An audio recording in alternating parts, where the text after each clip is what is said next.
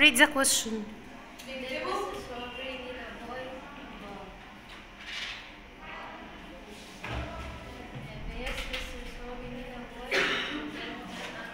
okay what's his work? What's his job? What's Mr. Swabery's job? Huh? Sorry? Okay thank you.